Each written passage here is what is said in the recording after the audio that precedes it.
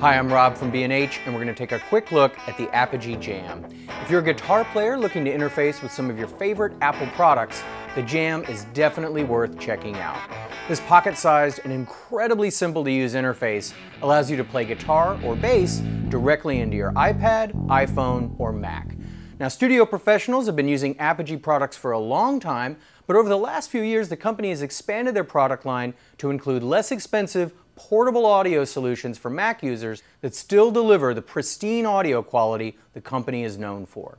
So on the heels of highly successful models like the One, the Duet, and the Duet 2, they now bring us the Jam, which uses what Apogee calls their pure digital technology to deliver studio quality sound. Probably the most exciting aspect of the Jam is it allows you to play guitar and bass into your iPad. Connection is very simple. Just plug your guitar cable into the quarter inch input on the end and plug the locking connector cable into the other end. Then that cable plugs into your iPad or iPhone's connecting dock. On the side here is the control knob you use to set the input levels, and there's an LED light that helps you set them. It glows blue when it's connected but not ready. Green means you're ready and working, and red means your levels are clipping, so just lower the input.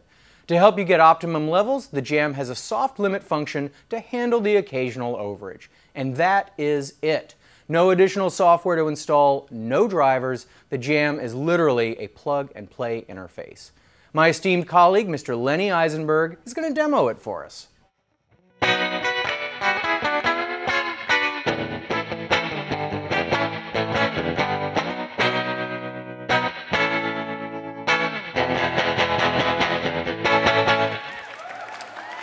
Now in this demo we're using GarageBand on the iPad 2, which doesn't come with the Jam, but is available from Apple at a remarkably low price.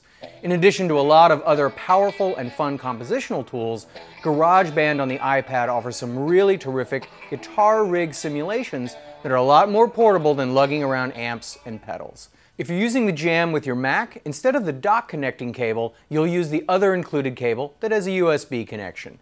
This lets you play guitar and bass not only into GarageBand on the Mac, but you can also use it with Logic, MainStage, and any other core audio compatible applications.